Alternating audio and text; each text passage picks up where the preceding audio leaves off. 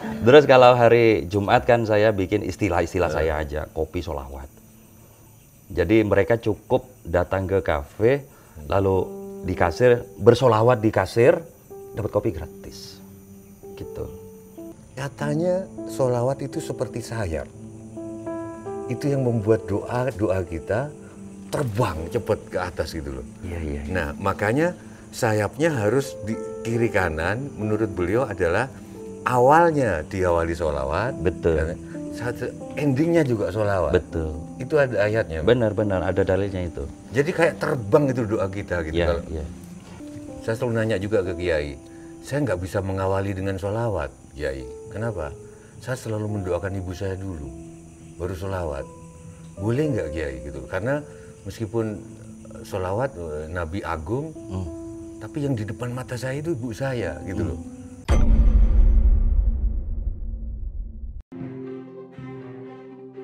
Setiap orang butuh cerita. Aku akan membawakan cerita ke mana-mana. Aku akan bercerita pada kalian. Karena seperti kata seniorku, Leo Christie, dengan seikat padi dan jagung, mungkin cukup sehari hidup. Dengan sekotak wayang dan gamelan, mungkin cukup sepanjang hidup untuk bercerita dan mendengarkan cerita.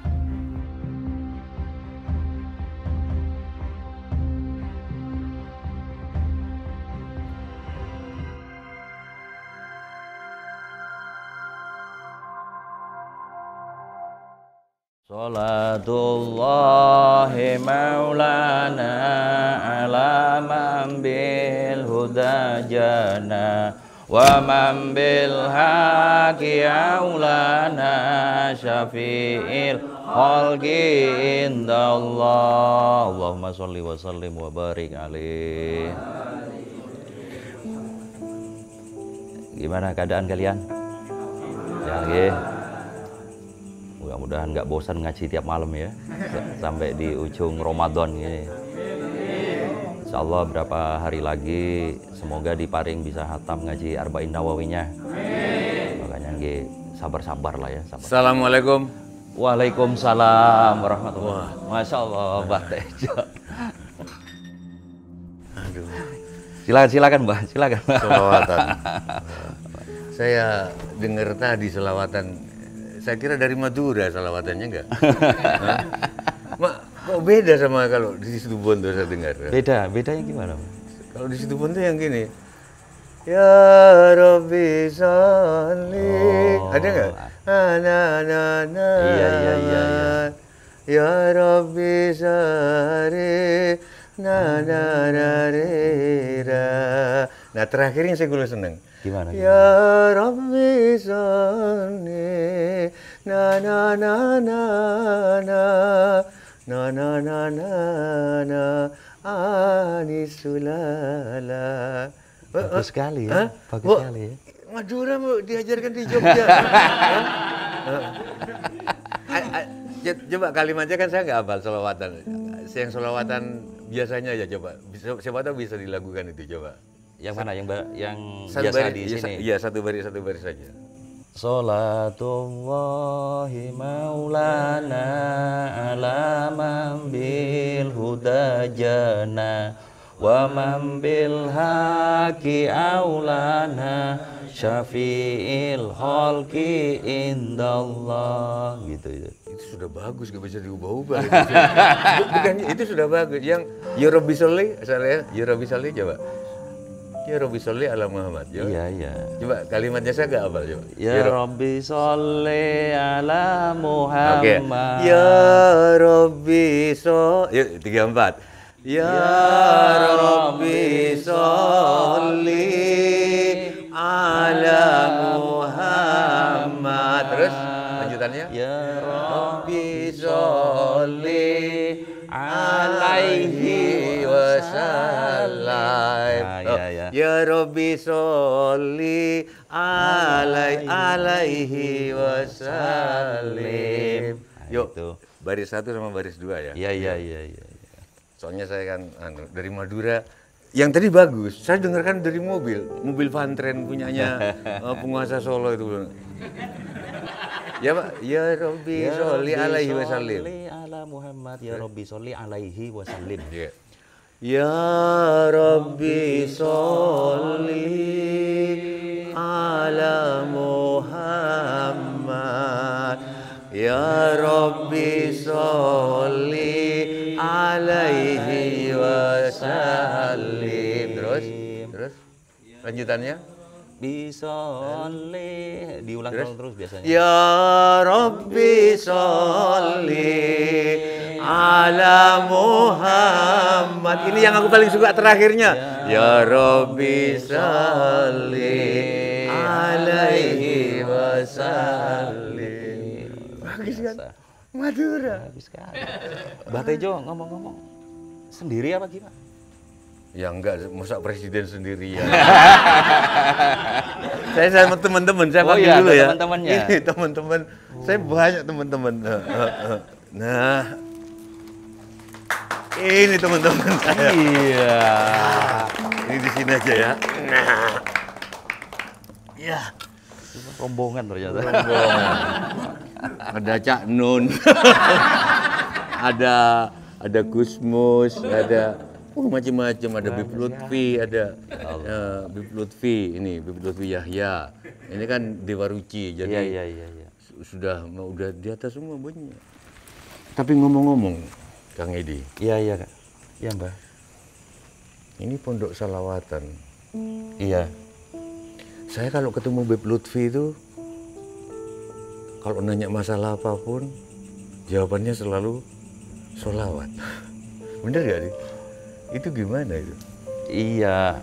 Ya gimana ya solawat itu ini menurut pemahaman saya ya. Yep. Solawat itu gini kalau diurut agak-agak filosofis tapi ada ada anu ya ada dasar- dasarnya itu ya. Gini, masyhur di kalangan ya orang-orang Islam yang memang bergumul dengan solawat itu ya. Bahwa dunia ini beserta seluruh isinya diciptakan oleh Allah dikarenakan Allah menciptakan Nur Muhammad gitu.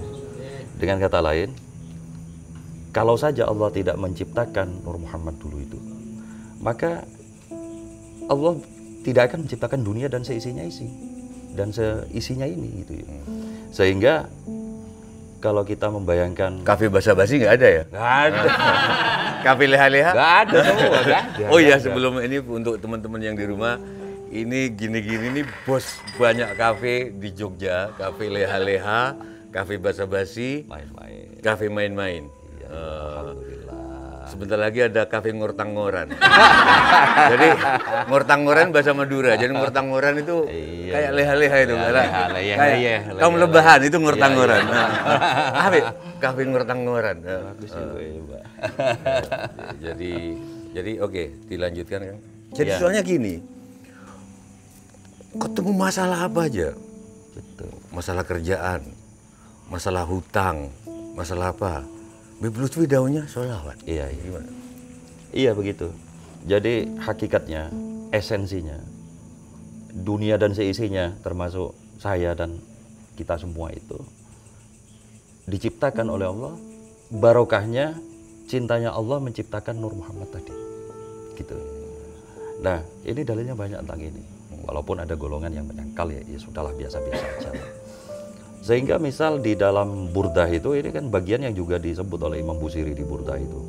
Laulahu lam tukhrajid dunya minal adami. Jika tanpa Nabi Muhammad itu, maka dunia ini tidak akan diadakan oleh Allah dari ketiadaannya itu. Nah, logikanya lalu menjadi sederhana buat buat kita lah gitu ya. tapi sebelum itu jangan dilanjutkan jangan menghina saya meskipun nggak bisa sholawat Sholat burda saya sampai ke makamnya Imam Busori loh. Kalah ya. di di di Kairo sama Iya, iya. Gus Usman Narumi. Usman, Heeh. iya, itu Masya makamnya kita sholawat. Maulaya sholli Ah, benar, benar, benar, benar. Maulaya sholli wa sallim daiman abada ala habibika khairi khalqi kullihim wal habibul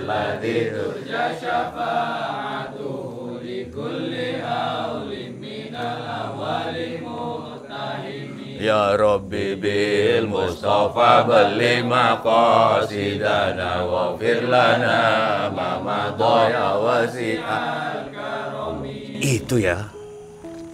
Kiaimu mungkin nggak pernah cerita ya, sekarang tak ceritain. Ini di belakang masjid, eh, di dalam masjid, di, di belakang mihrabnya apa? Tempat imam sholat itu? Busiri.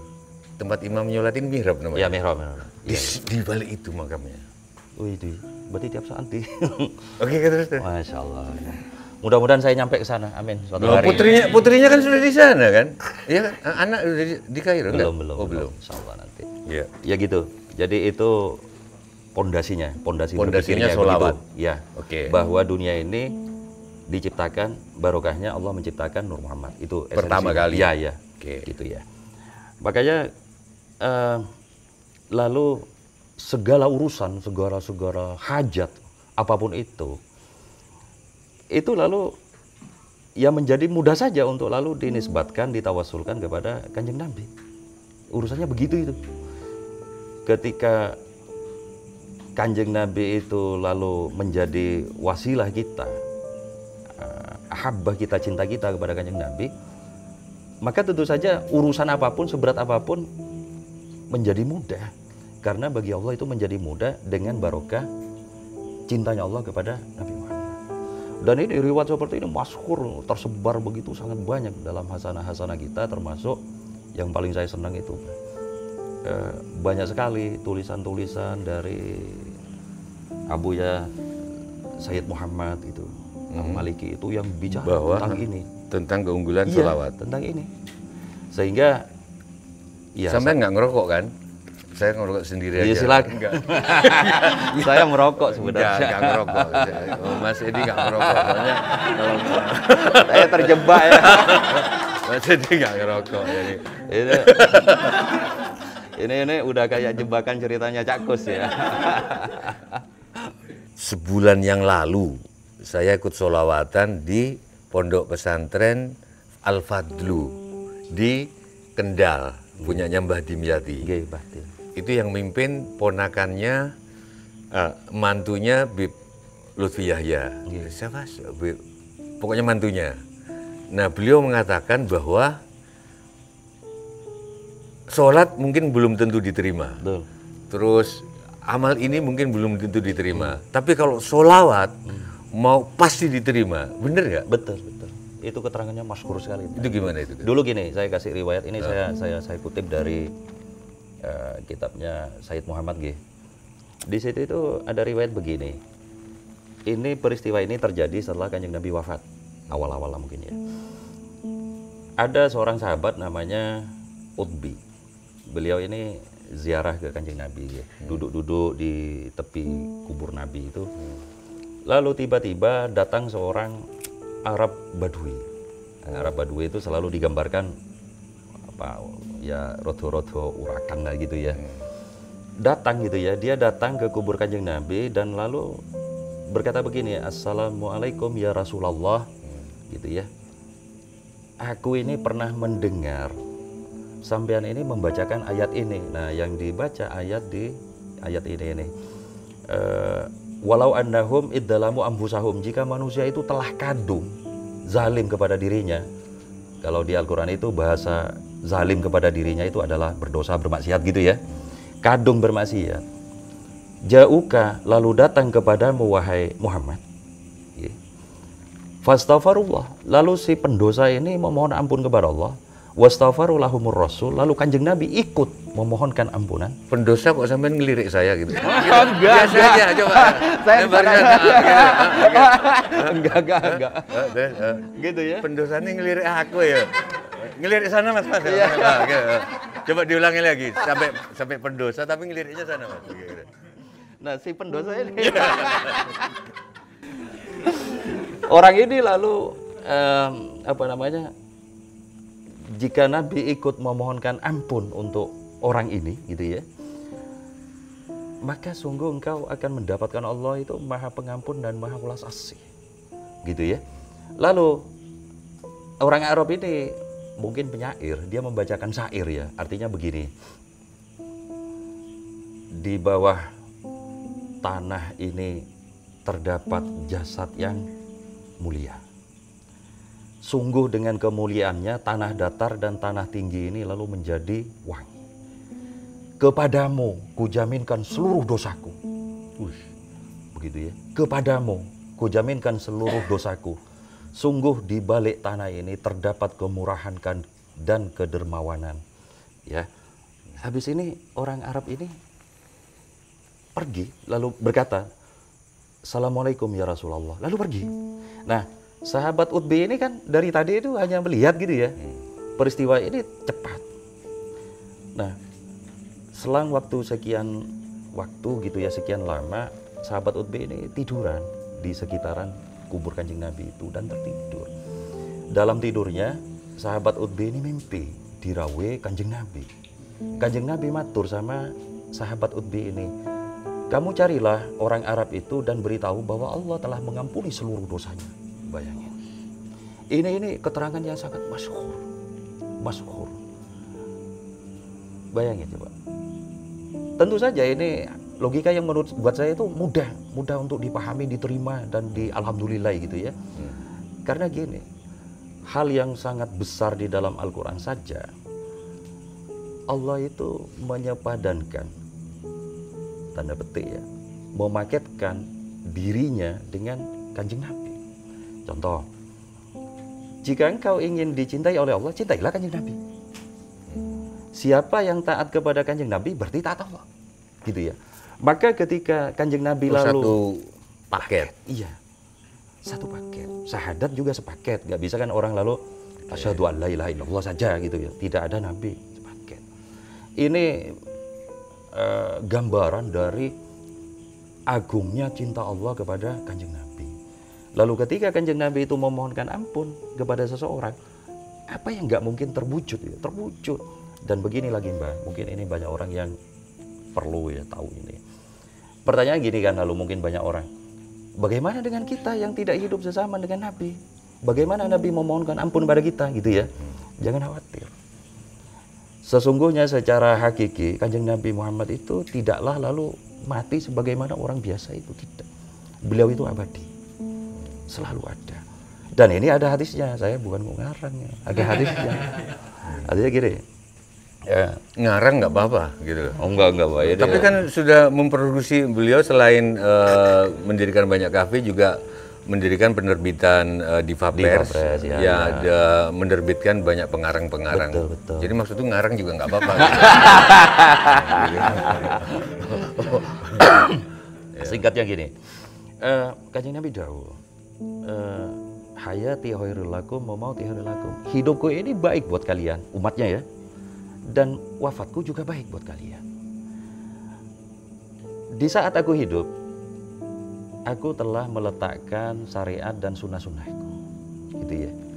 Di saat aku telah tiada, ini mati dalam bahasa manusia ya. Di saat aku telah tiada, Allah itu selalu mengabarkan perilaku umatku semuanya kepadaku. Jika aku melihat kebaikan di dalam amal hambaku, umatku, maka aku beralhamdulillah kepada Allah. Nah, yang terakhir nih yang penting yang membahagian kita nih. Eh, Wa ma wajada fihi asyar jika ada yang buruk di dalam amal umatku, istaghfartullahu lahu. Aku memohonkan ampunan kepada Allah untuk orang itu. Bayangin masa. Berarti kan kita punya nabi yang menjadi jalan tol gitu kan. Jalan tol bagi insya Allah ridhonya Allah selamatnya kita dunia dan akhirat. Amin ya. Ya begitu. Makanya wajar kalau para sesepuh, para guru dan semua ulama kita itu mengatakan perbanyak sholawat, perbanyak sholawat. Enggak, makanya saya itu kan agak heran. Mas Edi ini kan tanahnya nambah terus gitu loh. Kafenya nambah terus gitu loh. Aku pikir kegiatan malam-malamnya itu ngitung-ngitung bisnis apa-apa terus ketemu orang-orang eh, itu klien-klien itu kok malah sholawatan gitu. tiap Iya. harinya. Itu bisa dijelaskan. Bi- bisa, Bayangan bisa, saya kan bisa. tanah mana lagi yang atau info nyari eh, makelar-makelar tanah ketemu. Ini malah sholawatan gitu. gitu. Eh, Iya iya iya. Heeh. Bikin apa? Iya, bikin pondok lagi. Iya. Mestinya kan bikin penelitian, bisnis, apa pengembangan, misalkan kafe-kafe dikembangkan lagi, ekspansi ke Jakarta, ke kok malah? Saya suatu hari didatangi seorang kawan, Hmm. Eh, dia staf seorang menteri lah. Di saat pandemi itu ya, dia bilang gini, ayo Mas Edi, saya mau bikin acara untuk UMKM. Jenengan nanti narasumber. Wah apa sih? Saya bilang gitu. Enggak beri spirit mereka bagaimana cara menghadapi keadaan pelik di masa pandemi ini secara bisnis. Saya jawab dengan bercanda gini. Bisnis itu apa yang mau dipikirkan? Saya bilang gitu. Loh, ini serius biar mereka beri spirit katanya. Ja- saya selalu jawab gini Mbah. Kalau saya itu sederhana. Kalau pas lagi plus ya lebihnya saya tabung. Kalau lagi minus kayak pandemi gini ya ditomboi kok susah. Akhirnya nggak jadi ngundang saya. Nggak jadi ngundang saya. Tapi gini Mbah, tadi pertanyaan Mbah tentang itu gini. Saya suatu hari di di di gojlok gojlok lah sama Bib Husen itu ya, Husen Jafar. Karena saya punya rutinan tiap maulid itu. Arab Bondowoso. Iya iya iya. Kalau ngomong saya Madura, Bibu Sen. Iya iya. Tiap maulidan bulan maulid itu mesti saya ngundang dia lima hari berapa hari itu ya untuk ya sholawatan maulidan itu. Beliau satu hari berkata di gini, itu di forum ya, di forum di bahasa basi condong catur dia berkata gini, ini ini kalian kepada audiennya.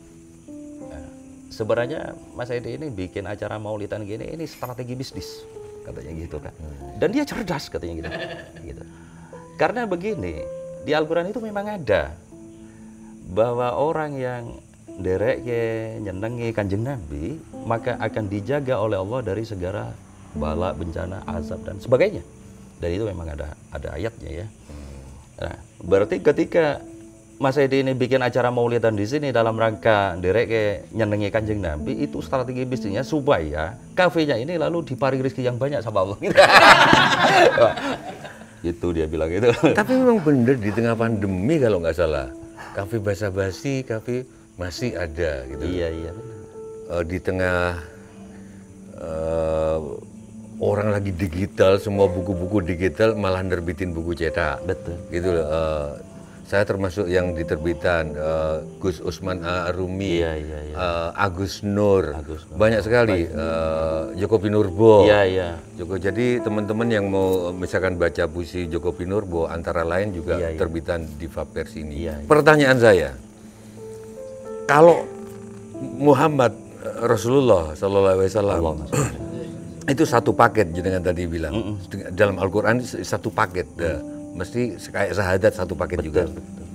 Nah kalau kita menyebut orang Madura itu satu paketnya kalau nggak jualan besi tua jualan soto, ya kan? Gitu kan? Dan ini menurut banyak orang bukan saya stereotip orang Madura ini stereotip lah ya. Iya, iya, Maka di, jadi bercandaan ini kok ada orang Madura bikin penerbitan buku itu gimana bisa nggak di? Jangan-jangan ini barokahnya solawatan ya? Tapi belum selawat Madura. Nanti harus diterapkan. Ya Rabbi Sholli. Itu Madura. Oh, oh. Ya kalau kalau perkara saya bikin penerbit itu muasalnya dulu karena saya memang dulu penulis, penulis cerpen, novel gitu ya. Di masa saya kuliah S1 itu. Nah, karena saya penulis dan saya waktu kuliah juga hidup dari honor menulis, nulis cerpen itu. Ya otomatis pergaulan saya orang-orang ya orang editor, penerbit, pedagang buku dan sebagainya. Nah biasalah jelang lulus itu kan lalu galau mau ngapain. ya. Nah alhamdulillahnya kok lalu tersambung dengan dunia penerbit walaupun saya merintis dari pelan-pelan pelan-pelan sampai jadi seperti sekarang itu, Mbak. Tapi kenapa kalau bikin penerbitan kok nggak ikut tren penerbit-penerbit umumnya? Jadi ada royalti kalau nggak 12 persen, kadang-kadang maksimal 15 persen lah. Eh, saya biasanya dilebihkan dikit. Tapi eh, Mas Edi ini kalau bikin eh, penerbitan langsung dibayar dat, gitu loh, jutaan, gitu loh. Buku belum dijual ini, itu kenapa itu Mas? Enggak, i- itu bisa dijelaskan secara teori bisnisnya ada itu sebenarnya. Gimana, gimana? Cuman kan saya nggak perlu nyampaikan. Enggak, saya berpikir sederhana gini. Gini, eh, royalti. Saya dulu kenapa diterbitin jenengan? Nggih. Yang mempromosikan aku itu Agus Nur. Iya Mas Agus. Ya, Wis ya. diterbitkan aku noe enak ya. Duit enak ngarep.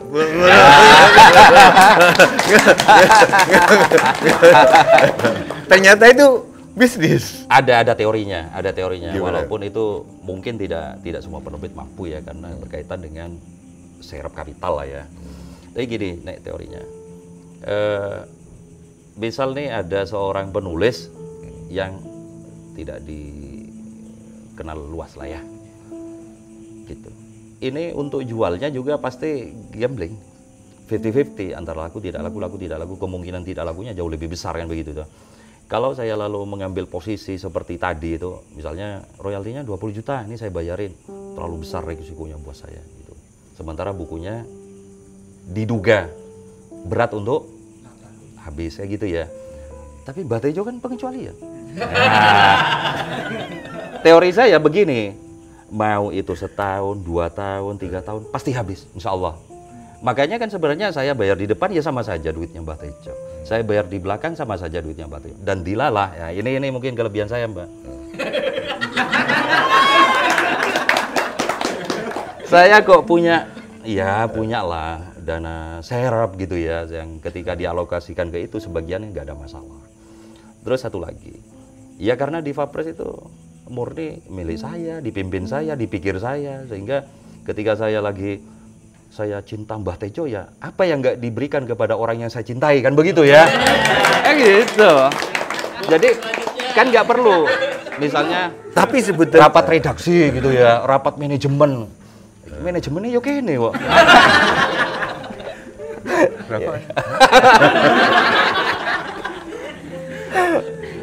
gitu. Tapi sebetulnya aku me- melakukan tes juga loh. Ketika sastrawan Agus Nur bilang sudah terbitkan di di paper saja di Mas Edi, enak duit di ngarep. Saya nggak langsung oke. Saya undang beliau ke nikahan mantu anak saya. Ingat, ya, ya, ya, ya. Gitu. Dalam hati ini datang nggak? Kalau nggak datang, aku nggak akan masukin. Eh datang. ya sudah, sebulanan setelah itu ya, betul, sebulanan saya betul. serahkan Betul, naskahnya. betul. Alhamdulillah. Jadi Presiden Janjuker selalu menguji orang, Eh, gitu. Dari bayar di depan itu barokah atau apa? Iya, iya. Saya selain soal teori tadi, saya percaya begini, kalau kalau kamu memudahkan, kamu akan dimudahkan. Kalau kamu menggampangkan, akan digampangkan begitu. Nah, teorinya kan gini tadi, kalau hitam putihnya bisnisnya, ini cepat atau lambat pasti habis. Sehingga saya membayar seseorang itu yang saya yakini begitu, Jokpin misalnya, itu itu nggak akan ada kerugian bisnis apa-apa buat saya gitu loh. Nah, ketika ini lalu dipindah ke depan, ya tentu saja, tentu saja secara alamiah kan orang lalu senang gitu ya. Ketika senang tentu membawa berkah gitu. Ya saya percaya itu. Dan dalam berbagai bentuk lain juga saya lakukan sih seperti itu. Gitu. Teori saya dalam royalti-royalti nan tadi itu. Tapi kita sekarang nggak ngobrol soal Sara. Ya. Biasa kan suku-suku sama bangsa itu ada di dunia, ada Arab, ada Cina, ada ini. Gitu. Iya. Ketika di buku saya yang dongeng Mbah Jiwo itu, Iya, iya.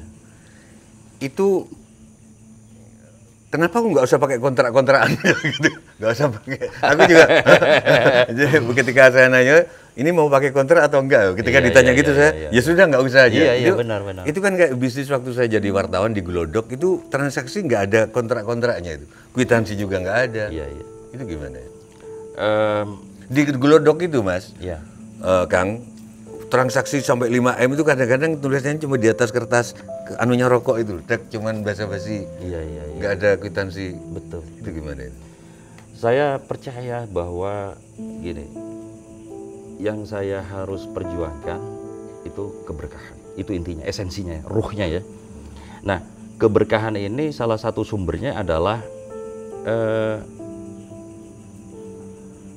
antarodin, saling rela antara si A si B, antara saya dan Mbah Jiwo itu.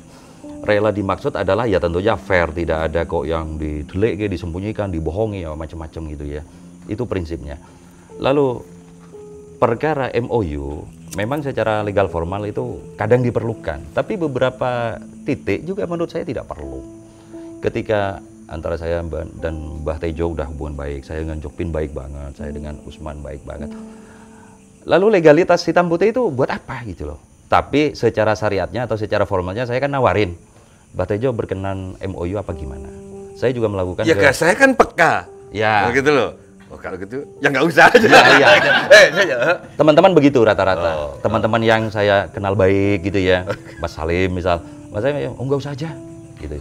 Tapi kan insya Allah saya memperjuangkan keberkahan, sehingga insya Allah lah tidak ada kok lalu tipu daya apa semacam-macam. Gitu. Sekarang mau MOU materinya lima yuk, kalau orangnya tidak punya komitmen sama aja, kan begitu. Walaupun kadangkala se- sekali lagi kadangkala legalitas itu kadang perlu pada titik tertentu. Tapi kalau udah di level bisnisnya itu kayak di atas meja lah gitu ya posisi. Kalau masih di bawah meja ya ribet ya. Ya sudah nggak perlu lah. Ya. balik lagi ke solawatan. Iya, Ngomong saya ingat.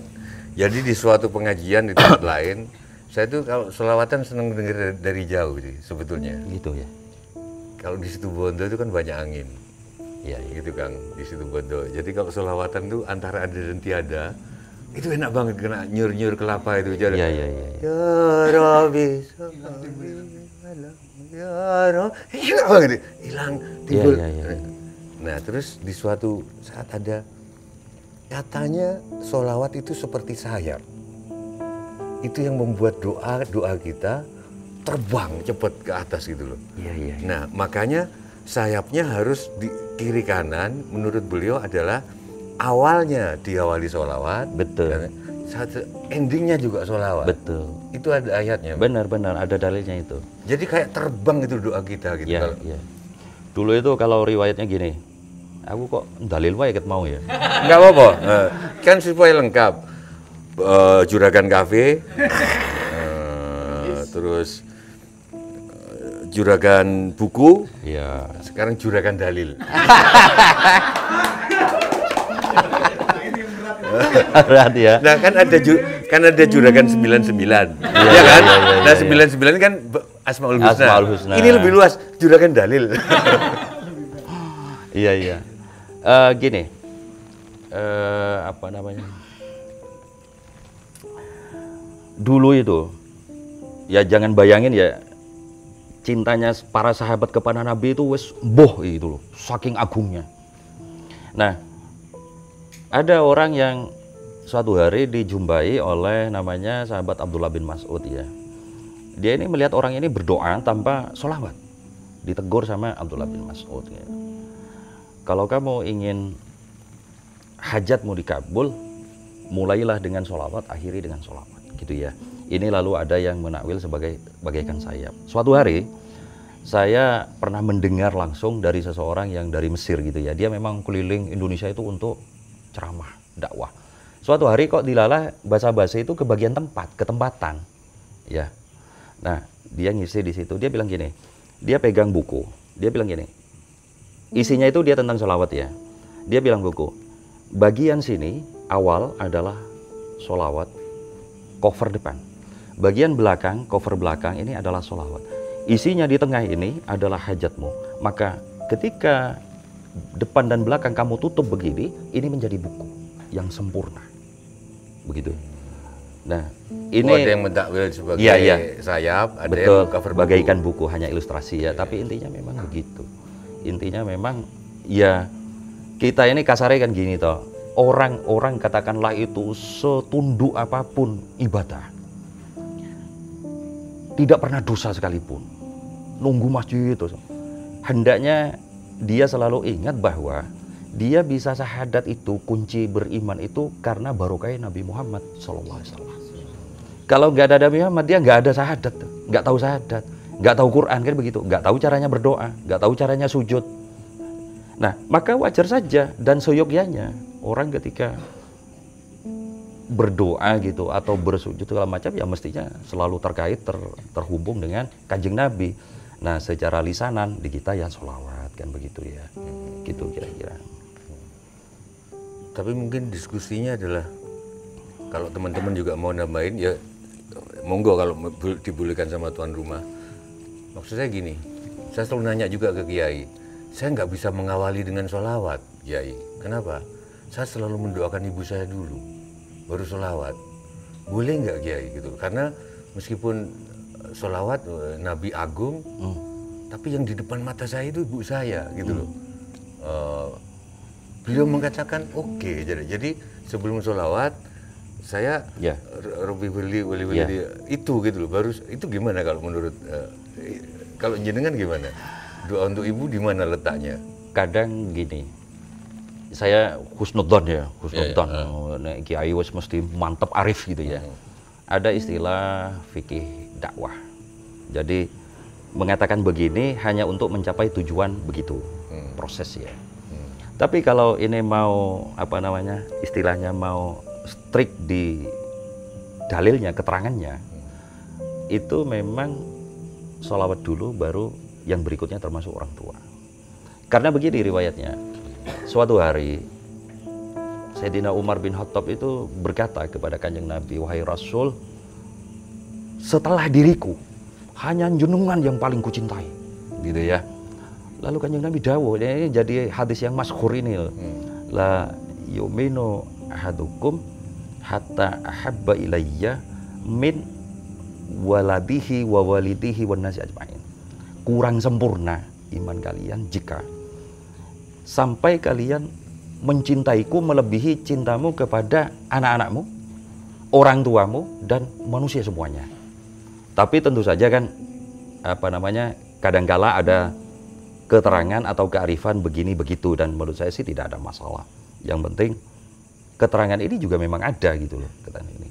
Walaupun belum atau tidak mengambil posisi begitu sepanjang hati dan lisanan itu berada di posisi yang seperti tadi Mbak Tejo bilang, ya menurut saya sebagai proses itu dakwah itu ya tidak ada masalah dengan itu. Kira-kira begitu. Kalau saya pegangannya adalah siapa yang harus aku cinta ibumu, ibumu, ibumu gitu loh. Betul, betul. Saya- Tapi itu setelah kanjeng Nabi. Kalau urusan dalilnya begitu ya. Kalau urusan dalilnya. Iya ya. Iya. Jadi saya salah nih. Enggak salah, tapi tapi masa kayak gitu. kan gini, meninggalnya kanjeng Nabi, meninggalnya kanjeng Nabi kan bukan meninggalnya orang biasa. Betul. Masih ada. Betul. Gitu loh masih. Betul. Nah, tapi sing ketok meripatku, iku ibuku sih, Iya, gitu iya. loh. Ngasuh aku, dek, dongengin aku gitu loh. iya, iya, iya. Makanya saya juga mudah-mudahan di komen-komen nanti di komen-komen Iya, iya. ini juga ada eh ya saya mengawali dengan ibu dulu Betul. baru sholawat. Gitu. Dulu di di, di hasanah para sahabat yang yang mereka itu awal masuk Islam itu harus bertengkar dengan keluarganya. Saya contohin ya. Gitu.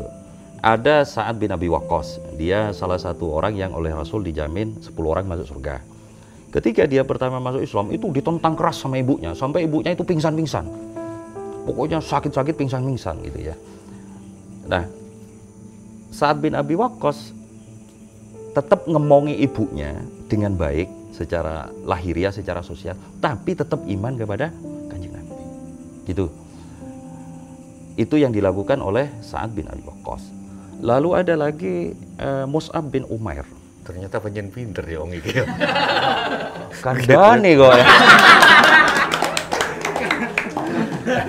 Enggak, sampean disertasi S3 tentang sholawat juga? Enggak, enggak. Oh bukan, oke. Tentang apa? Enggak hal lain. Apa? Disertasi Tasawuf S3. aja, tasawuf. Tasawuf. Nggih. Kenapa enggak dua sekali tentang sholawat itu? Kayaknya menarik.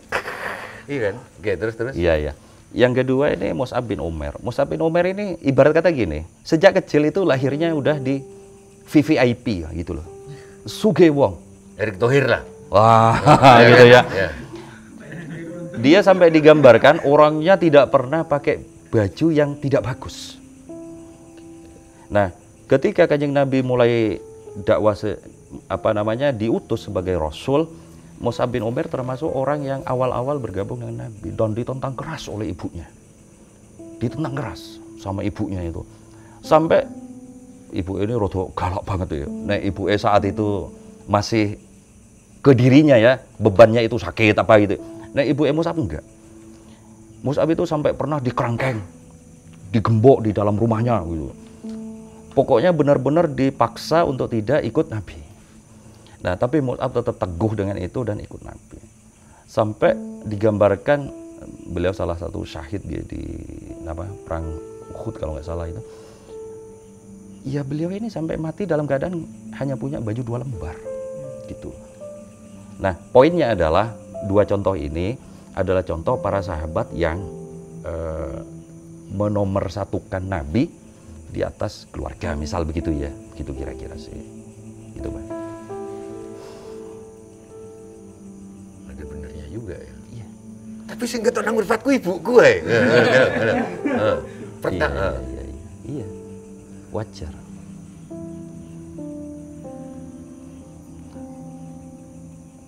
وَوَفِدْ لَهُمَا جَنَاحَ الذُّلِّ مِنَ الرَّحْمَةِ وَقُلْ رَبِّ ارْحَمْهُمَا كَمَا رَبَّيَانِي صَغِيرًا Itu eh, gimana coba? Aku masa وَقَضَى رَبُّكَ أَلَّا تَعْبُدُوا إِلَّا إِيَّاهُ وَبِالْوَالِدَيْنِ إِحْسَانًا وَبِالْوَالِدَيْنِ إِحْسَانًا itu kalau menurut ustadz-ustadz itu kayak itu loh mas ada ada burung iki anak piye-piye terus ono traktor liwat iku dingenekno lho. Betul. iku karo karo ibuke karo induknya. Untung terus trak apanya traktornya itu gini gitu, eh, lewat jadi enggak Ya. jadi zrut gini dek. Dia, dia nggak lari dia. Nah itu katanya wali wali wali ini gitu loh arti eh, gitu loh. Betul. وقضى ربك ألا تعبدوا إلا إياه وبالوالدين إحسانا. إما يبلغن عندك الكبر أحدهما أو كلاهما فلا تقل لهما أف. ولا تقل لهما أف ولا تنهرهما وقل لهما قولا كريما. واخفض لهما جناح الذل Aku pengen nangis ya. Iya. Min rahmati wa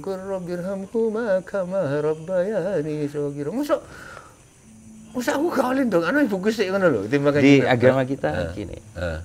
ibu orang tua itu orang tua ya, Hmm. oleh Allah ya, ini oleh Allah diposisikan itu satu garis di bawah Nabi. Ini buktinya. Di surat Al-Luqman itu ya. Eh, jika orang tuamu menyuruhmu untuk menyekutukanku, kata Allah ya. Ya, ini ceritanya kan Lukman itu menasihati anaknya. Fala tuti huma. Jangan patuh karena perintahnya menyekutukan. Menyekutukan Allah ini sudahlah apa ya dosa maksiat yang paling paripurna, nggak ada lagi di atasnya.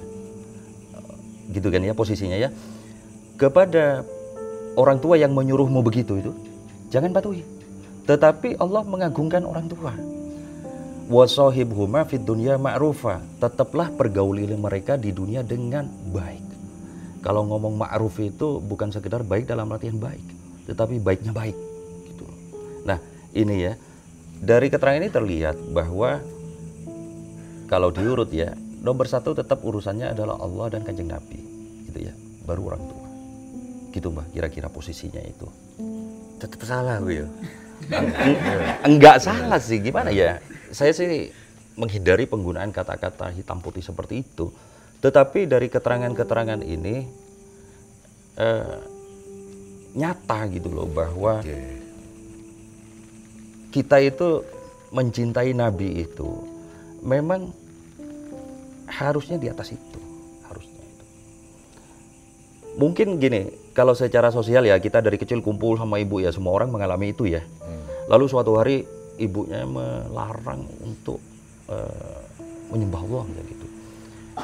Itu Allah tetap memuliakan orang tua ini dengan cara pokoknya jangan nyakiti gimana gimana pokoknya harus tetap ma'ruf. Tetapi karena kamu adalah hambaku begitu kira-kira. Maka kamu jangan patuh kepada perintahnya untuk itu dan ini dicontohkan diikuti oleh ya Sa'ad bin Abi Waqqas lalu Mus'ab bin Umair dan beberapa sahabat yang lain gitu. Mungkin jenengan sudah jadi Bima. Jadi Bima itu gini, Mas. Jadi Bima itu Bima itu pernah suatu hari disuruh Tuhan untuk mencari dirinya, mencari Tuhan di bawah samudera pantai selatan. Ya. Tapi dia disuruh pamit sama orang tuanya. Orang tuanya itu Kunti, nggak ada wayangnya. Kunti. Ger, kamu sudah lama tak tunggu-tunggu nggak pernah pulang. Sekarang aku seneng kamu pulang, Ger. Ibu, Aku pulang, tapi bukan untuk berkumpul. Loh, aku mau pamit. Pamit apa? Aku mau mencebur pantai laut, laut selatan karena disuruh mencari Tuhan. Gitu. Nggih. Dia datang, dirangkut, dat, dilimpe. Begitu ibunya udah tertidur di sininya, dia dadang tak tahu gitu. Iya, iya. Sampai sudah jadi bima. Aku belum. gitu, loh. Jadi gitu. Secara gitu. Iya, Tipe wayangannya gitu ya. Iya, iya, iya. Iya, Jadi dia tetap sopan, iya jet, tapi dia ngikutin perintah. betul, betul. Hmm, Iya, iya, Tapi kalau anak-anak gini bisa nggak ngikutin perintah Tuhan, tapi tetap sopan ke orang tuanya. Kalau orang tuanya nggak setuju, mungkin bisa nggak? Hah? Ya mungkin berat ya. Berat ya. berat ya. Bima begitu. Oke Mas Edi, yang terakhir. Kenapa pilih bisnis kafe? Eh gini Mbah, di tahun-tahun 2013 gitu ya, saya aktif sekali bikin workshop-workshop mengajari anak muda menulis dengan gratis. Nah, waktu itu saya sering sewa kafe orang, sewa gedung orang dan sebagainya. Namanya waktu itu kampus fiksi. Saya bikin orang untuk ngajari nulis cerpen, nulis novel, ya karena saya senang aja. Lalu beberapa kali saya ngundang tokoh-tokoh gitu ya lalu pakai kafe orang ya bagaimanapun walaupun teman-teman pemilik kafe baik ya namanya pinjam kan tetap beda ya saya batin mohon sama Allah ya Allah mbok saya pengen punya satu kafe aja untuk jadi tempat acara-acara Alhamdulillah 2017 itu terkabul terwujud namanya itu Basa Basi Sorowajan Mbak Tejo kan pertama di sana dulu Iya, sama Agus Nur. Iya, jaringan itu di situ tuh. Nah, itu apa namanya pilihan saya waktu itu. Sebenarnya muasalnya, muasalnya nih ya. Saya bikin bahasa-bahasa itu kafe itu bukan untuk bisnis, tapi supaya saya punya tempat untuk bikin acara. itu beneran. ya.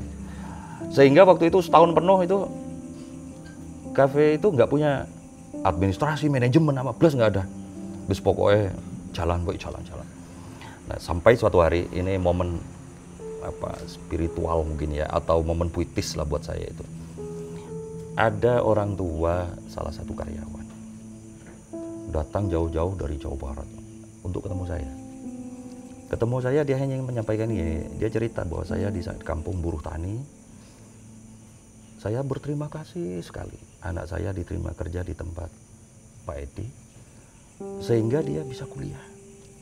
Buh, saya itu mak tertapan toh. Ternyata ada manfaatnya kafe ini saya batin gitu. Akhirnya sejak saat itu saya lalu melihat bahwa kayaknya kafe ini perlu kita kembangin supaya semakin banyak anak-anak yang seperti ini. Itu yang lalu ya bagaimanapun karena sudah semakin banyak orang, banyak hak dan kewajiban, ya mau nggak mau lalu ada manajemen. Tapi konteksnya seperti itu. Gitu, Tapi Mbak. kan mahasiswa tahu sendiri, apalagi mahasiswa di Jogja. Gimana? Rotok pas-pasan kan. Gitu loh. Gitu. Nek mahasiswa UI rotok Ya, ya, wangi-wangi ya, ya, gitu loh. Tapi mahasiswa Heeh. mahasiswa Jogja ini gitu loh. Heeh. Oke, heeh. Iya. Saya tuh kalau kalau ceramah-ceramah di kampus-kampus gitu bawa buku-bukunya kadang-kadang bawa Ya. bukunya Jilbab Pers ya kan. Iya, iya. Eh, itu kalau di Malang itu biasanya laku minimal 20, Iya, iya. ada yang eh, 25, ada Iya. yang 40, kan di Iya. Surabaya, Jember. Iya. Begitu di Jogja ada yang laku satu. Artinya oh, nah dalam konteks itu Kang Edi, mereka kan datang ke kafenya Iya. Pasti paling paling banter paling ya. Sorry kalau kalau salah. Nggih. paling sepuluh ribu pengeluarannya atau lima Iya, belas iya, ribu iya. atau dan pasti sampai pagi di situ. Betul, betul. ngusirnya piye? Terus pertama ngusirnya piye supaya ada tempat untuk orang Iya, lain iya, iya, untuk iya, duduk. iya. terus supaya dia terus pesen terus. Pesen apa? Piye cara nih Tentang apa pakai salawat solusinya gini, itu, itu sebenarnya hal teknis kecil itu ya. oh gitu ya Gini, anu ya, bisnisnya wis dhuwur ya. ya wis ngajari kecil aja itu sederhana. Eh, solusinya itu perlu dicari solusi. Solusinya adalah kafenya harus besar. Itu solusinya. Harus besar, harus luas. Makanya Mbak Tejo ngelihat kafe saya itu nggak ada yang kecil, besar semua. Yang kira-kira itu space-nya 200, 300 orang, kan begitu ya. Ya. Sehingga perkara tadi bagaimana cara supaya meja itu efektif itu nggak lalu dipikirkan. Wong udah terspare ke tempat-tempat lain yang luas itu. Gitu. Itu cara untuk mendapatkan eh, balik modal atau keuntungan. Memang harus besar. Tentu ini tidak bisa lalu dipandang secara head to head dengan misalnya jenis kafe yang kelas tengah apa macam-macam gitu ya. Yang tiap meja itu ada nilainya, ada nilainya gitu. Enggak. Itu solusinya itu. Jadi biarkan mereka begitu itu eh, toh akumulasinya itu lalu kemudian menjadi besar. Akumulasinya. Faktanya sampai sejauh ini ya ya kafe-kafe Bata Basi dan teman-temannya itu ya ya secara bisnis baik oke secara bisnis gitu. Tapi kan paling sekali pesen udah nggak pesen lagi kan mahasiswa itu.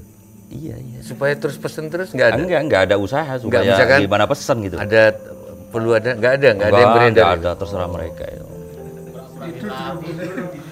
Oh tidur juga boleh. oh bebas Oke oke. jadi saya mungkin cara cara hitungannya gini saya bermain eh, volume bermain volume saya misal nih uang satu juta omset satu juta mungkin ini butuh 50 orang 50 transaksi nggak apa-apa. Tapi saya punya space yang besar gitu ya. Akhirnya saya cara cara saya berbisnisnya itu main volume. Kalau kafenya kecil pasti nggak nyucuk pasti. Karena pola pasarnya itu begitu. Wong anak-anak itu loh. Beli minuman mineral ya habis. Itu ke dapur. Minta isi ulang. Oh iya itu terjadi terus kalau hari Jumat kan saya bikin istilah-istilah saya aja kopi solawat. Jadi mereka cukup datang ke kafe lalu di kasir bersolawat di kasir dapat kopi gratis. Gitu. Nah ini menjadi momen Ah, yang di Rus- dimanfaatkan. Di Rusunan Kalijogo ini. Nonton wayang gratis, tapi bayar sahadat. Ada. Ya, solawat itu. Apa ya? Oh, Oke.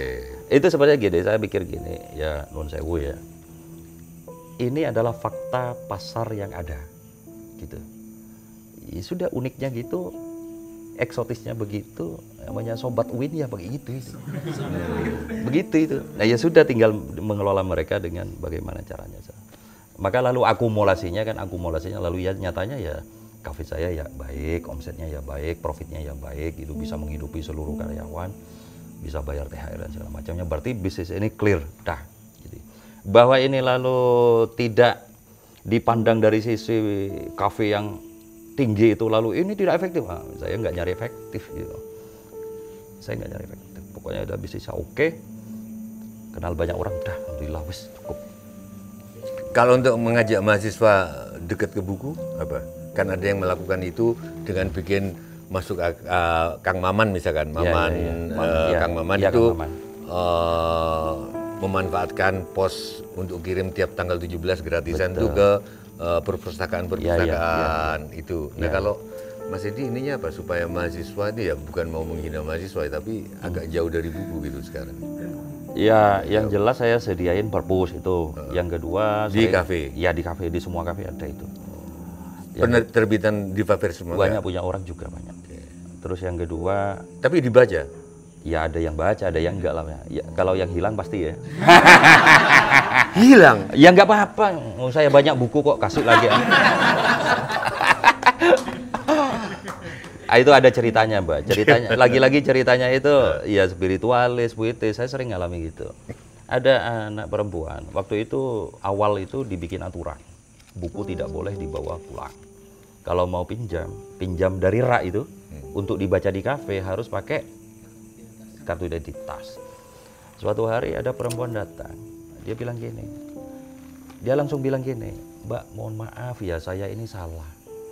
Bukunya itu saya bawa pulang semingguan. Saya ngaku saya salah, tapi bukunya itu penting banget untuk ngerampungin skripsi saya. Yang itu nggak mungkin saya garap di sini. Saya terbantu banget atas buku ini. Ya, sudah nggak apa-apa. Nah sejak saat itu seluruh aturan untuk supaya buku tidak hilang saya cabut. Hilang nggak apa-apa wes. Gitu. Walaupun tidak lalu secara formal boleh ambil bisa enggak gitu. Pokoknya cirinya untuk Nita ini buku ini banyak hilang adalah ketika rak mulai banyak kosong.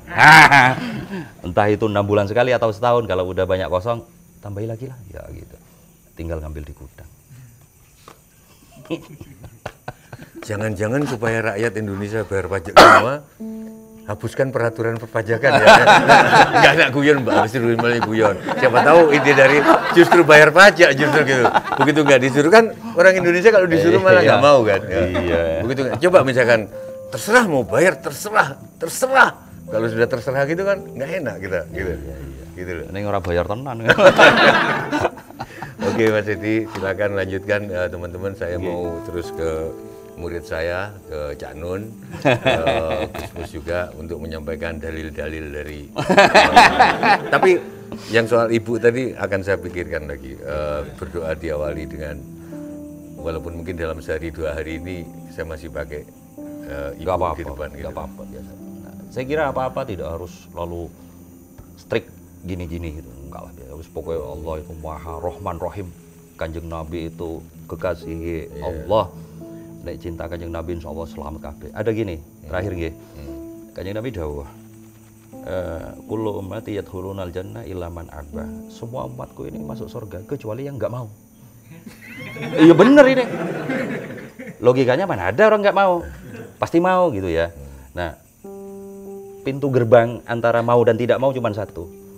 Iman wis selesai. Bahwa orang salah salah ya ya wis salah gitu loh. Tapi Allah Maha mengampuni segala salah kan begitu. Wis selesai.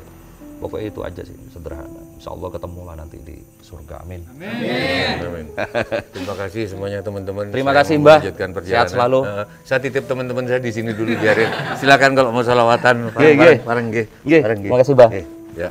Monggo dilanjutkan salawatannya. Eh. Teman-teman masih enak ya, sehat ya. Alhamdulillah, semoga berkah semua. Amin. Amin ya kita tutup ge udah malam Wassalamualaikum bisawab warahmatullahi wabarakatuh.